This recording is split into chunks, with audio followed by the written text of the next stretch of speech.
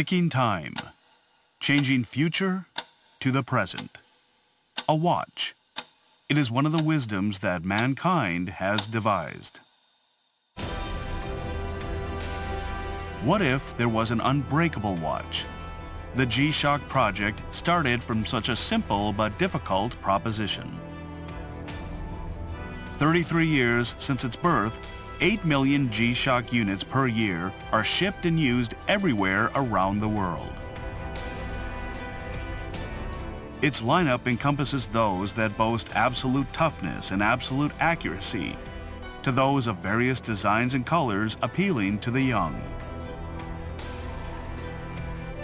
What is the secret of G-Shock's popularity? Why do the professionals worldwide love it?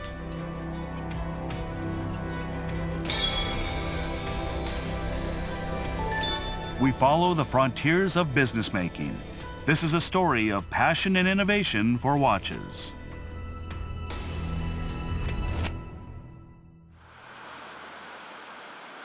In October 2016, in the northern part of Nagano Prefecture,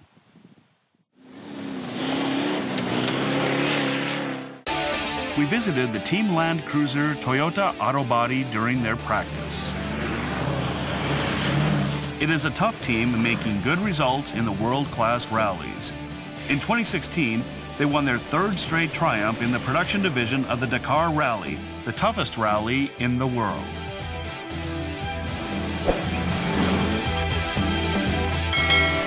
He is the driver of this team, Akira Miura. Sometimes I'm behind the steering wheel for over 12 hours, and sometimes drive on the sand dunes where the temperature can get over 45 degrees Celsius outside, 60 degrees inside. I must concentrate and focus on the race under any condition, so its environment and climate make the rally very severe. Dakar Rally is a two-week race across over 9,000 kilometers. Even under such hard conditions, G-Shock continued to tell time to the teams with great accuracy. Naturally, the rally is a competition about time. Time is a very important factor for us. We need to know if our driving time fits to the aim time we have set. So, I cannot race without this watch. The G-Shock which Miura wears is a model of the Master of G series, the main lineup of the G-Shock series. It's called Mudmaster.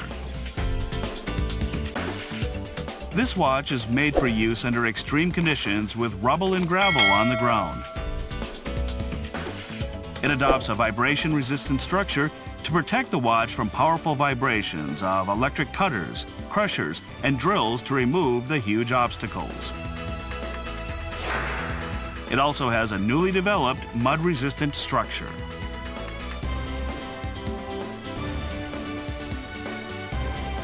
What kind of situation is Mudmaster used in? He can wear it and forget it. That is the best part of G-Shock. We do not only drive, but also fix the car during the race whenever a repair is needed. In a rally, if there is trouble around the suspension, we can put our hands in there, because the watch won't be hurt by hitting something. I do not need to care about it and can just fix the problem. It helps me to focus on the race. In a race, a G-Shock was put on the front of a race car for an extreme test. It proved that its durability and accuracy is unbreakable.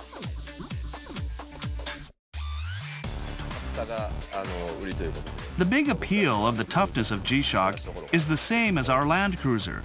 So we were wondering what would happen if G-Shock was in the real racing environment itself.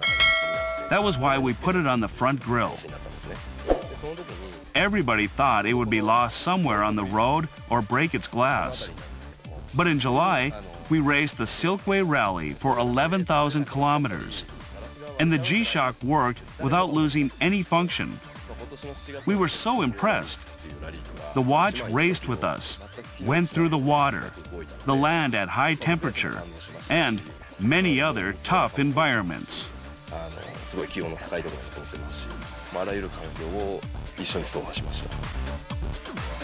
The result was brought from its history of innovation and progress for over 30 years since the birth of G-Shock. G-Shock was born at Hamura R&D Center of Casio Computer. Digital watches were released in the middle of the 1970s, and the manufacturers tried to make them smaller and thinner. They were recognized as inexpensive casual items. In 1981, Kikuo Ibe was in charge of thin digital watch design at Casio. He later became a father of G-Shocks. An accident made a chance for Ibe to develop G-Shock. At the office, I dropped a watch given by my father and broke it into pieces, which triggered the development. It was common sense at the time that watches were fragile. Though Ibe broke his precious watch, he didn't feel sorrow somehow. I was so moved to experience the fact that a watch would be broken when it's dropped. And then, I expressed my emotion in a single line. A tough watch that endures the shock of free fall. Ibe submitted a new product proposal with this single line. To think back, people may have thought I was joking. I don't see how the project got started.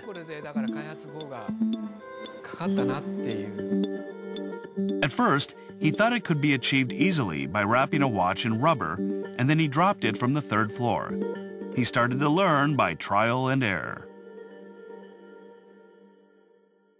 This was the successful shape. It endured the shock and didn't break, but it became too big. He successfully made it unbreakable, but the rubber case was a softball size. I was keenly aware of how absurd my idea was.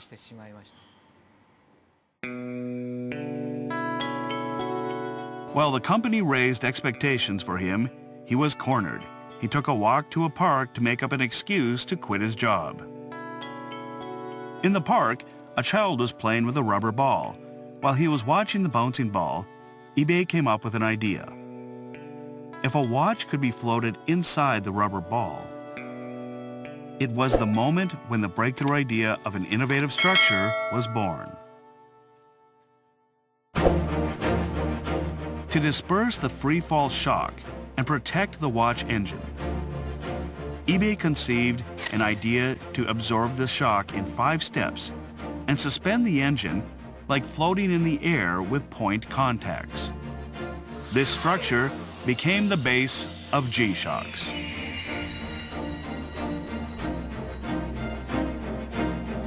In 1983, DW5000C was launched. It was the world's first watch with 10-meter free-fall endurance and 20-bar water resistance. The very first model of G-Shock exerted its strong presence to the world. This is the origin of G-Shock itself.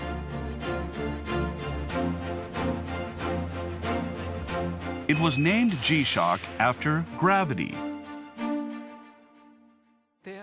the biggest thing for me was that I was filled with a sense of ease because I materialized the proposal myself. Shock-resistant watches have increasingly come into existence. Because it was born as an innovative watch, G-Shock was given an absolute duty to be in the forefront of the era. Around 1983, the year G-Shock was released, New items like compact discs and phone cards were also launched as daily items. The word digital became familiar to us.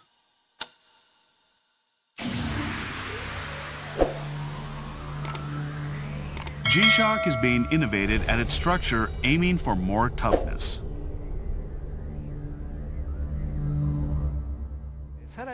For construction workers who work in a muddy or sandy situation, we developed a second generation of G-Shocks, whose buttons are covered for mud and dirt resistance.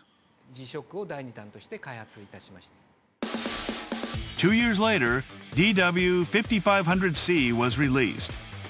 It was the model that established the basic structure of resistance to mud and dirt. The mud-resistant structure was added to G-Shock's original shock-resistant and water-resistant feature. In 1989, AW500 was launched. It was G-Shock's first analog and digital combination model. It overthrew the stereotype that analog watch movements and parts are too delicate and weak to shocks, and it's impossible to be equipped on a G-Shock. In the 1990s, with increased computer use at home, various products with various functions were released.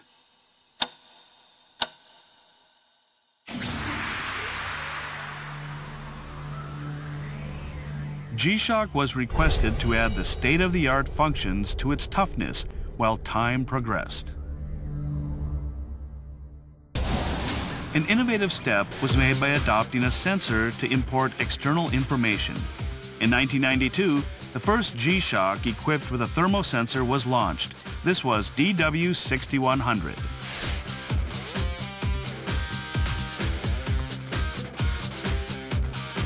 The watch has a thermometer to tell the current temperature and a graph to draw temperature change measured at regular intervals.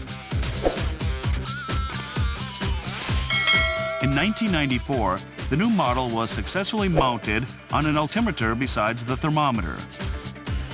Now the watch is able to measure the altitude and temperature. Those technologies accelerate the trend to put in multiple functions like weather forecast, meeting the needs of users. The EL backlight function was added for viewing in the dark. In 1998, a solar cell was equipped which converts light into electric power with a rechargeable solar battery. This technology overwhelmingly extended its battery life. With a built-in antenna to receive radio signals from the atomic clock to tick a more accurate time, the watch obtained radio clock technology. As a shock-resistant watch with multiple functions, G-Shock continued to seek constant innovation.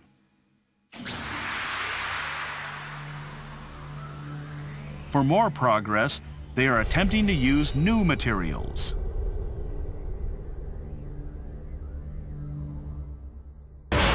To increase the strength of parts, other than the main body, new models were announced with bands containing carbon fibers and glass fibers. G-Shock's body was made with urethane resin to absorb shocks efficiently. But in this model, to enhance the quality feeling as a wristwatch, they tried to adopt a metal body which passes on shocks more easily. They have succeeded in this challenge and continue to produce elegant models with premium feel. In the 1990s, Japan's fashion business generated various trends such as second-hand clothes, hip-hop fashion, and others. And people were also attracted to sneaker fads, placing value on functionality and practicality. In the late 90s, G-Shock was also recognized as a casual and fashionable watch. G-Shock has changed its style by absorbing other cultures. For instance, color variations were made.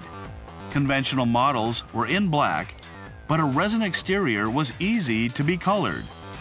Solid red and brilliant yellow models were launched then.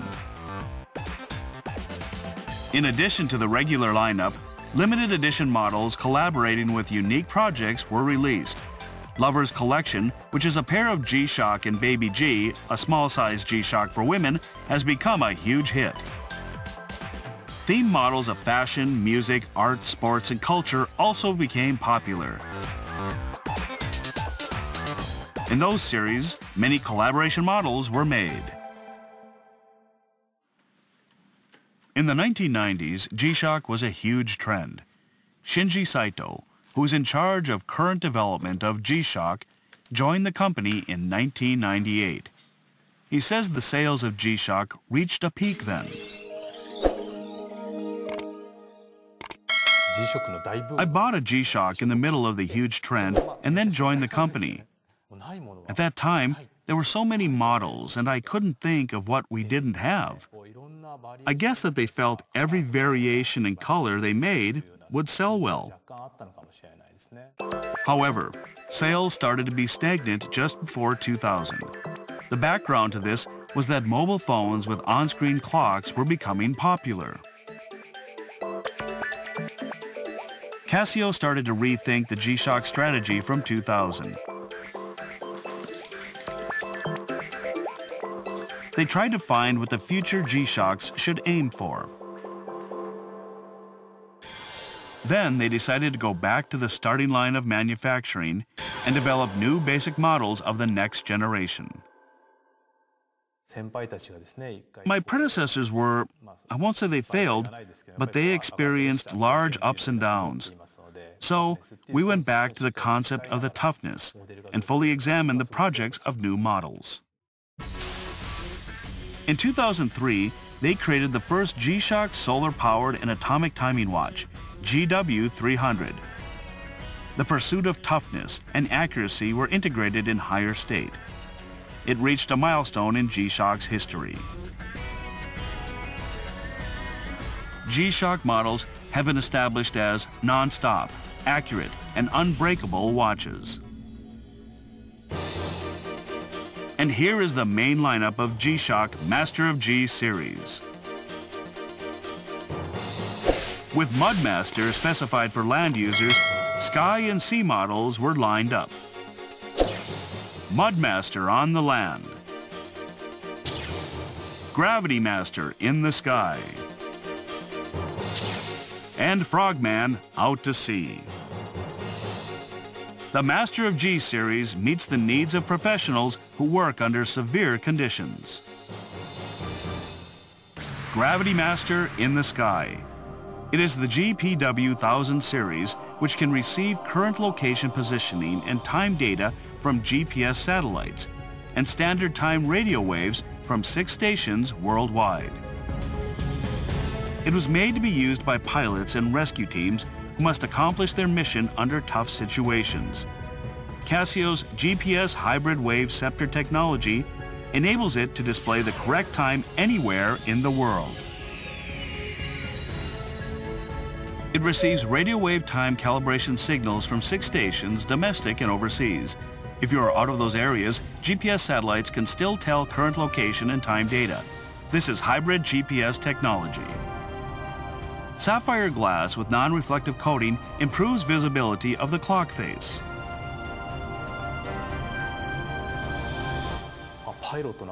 Pilots have to see the time in a split second. If the time is not visible in such a moment, the watch is just useless. That is what I have been told many times. Gravity Master is shock resistant, centrifugal gravity resistant, and vibration resistant. It is the Triple G resist technology which performs these three functions. During an air race, Centrifugal gravity reaches about 10 Gs. We test it if all the functions operate normally under such conditions. For more secure wearability, it adopts a carbon fiber insert band. Carbon fiber is also used for the second hand to make it larger and improve its visibility and strength.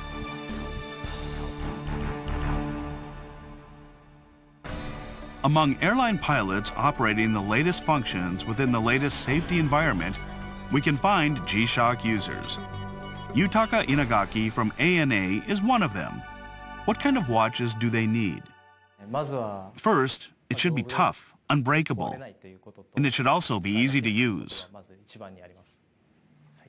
What are his thoughts on Gravity Master, which is made for pilots? The best thing about G-Shocks is that the glass surface doesn't protrude. Even when it hits something, the glass never breaks. There are many pointed items in the cockpit, so the protected surface is always my favorite feature. It seems like it's covered by a bumper.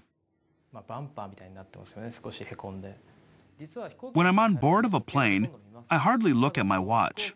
On the contrary, I do care about the time in the process till boarding. I look at it countless times to check how many minutes left until departure, for example. We recognize that our business is about time.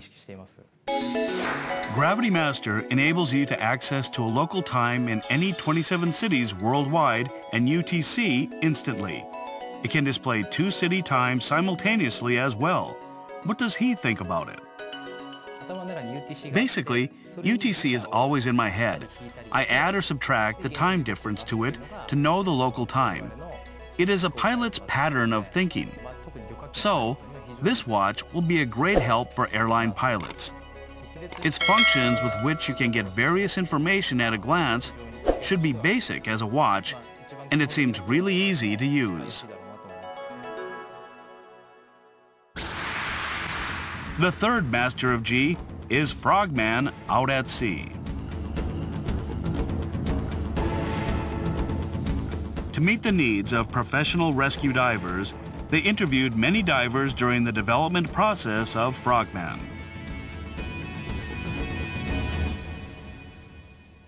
We responded to their request so thoroughly that I feel there has never been a product so affected by customer requests.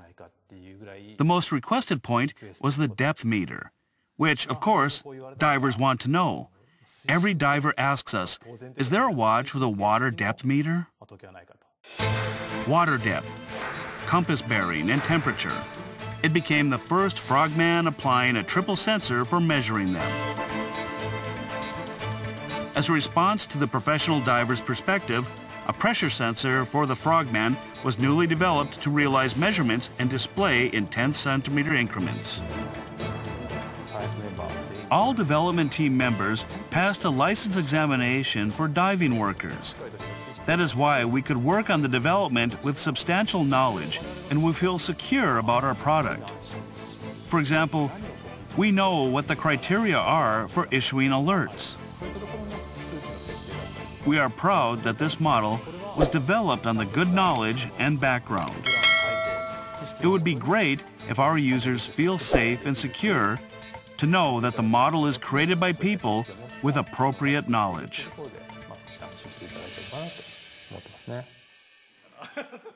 The DNA of manufacturing from Ibe has been succeeded for more than 30 years. Saito describes Ibe's character for us. He loves to make people happy. It is an unchanged character, whether or not he is in charge of G-Shock development. He naturally loves to please people or surprise people. That might be a genuine G-Shock spirit. But for him, that is not just about G-Shock. Though, enjoying surprising the world, communicating with others, trying to talk proactively, those attitudes themselves may be G-Shock.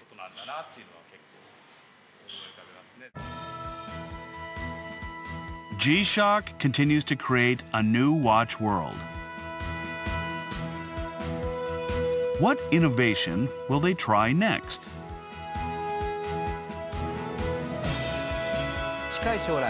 I believe that the time will soon come when anyone can travel to space. It will not be a harsh environment in the spacecraft, but outside is a harder situation than the environment on the Earth. So, if G-Shocks were developed for astronauts and aliens, and the alien said to me, Ibe, G-Shock is an excellent product, it would be the last dream that comes true for my life.